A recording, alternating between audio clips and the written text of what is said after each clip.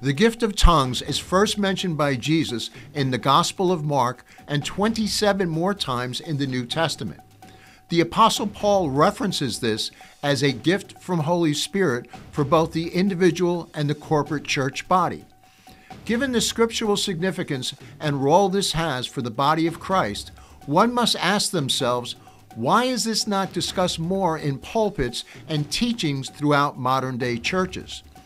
What is it about this and some other gifts of Holy Spirit that has so many leery to approach the subject?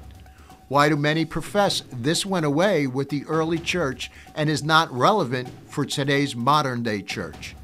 Please consider joining us for a historical and scriptural breakdown of the gift of tongues. What is it and why is it offered?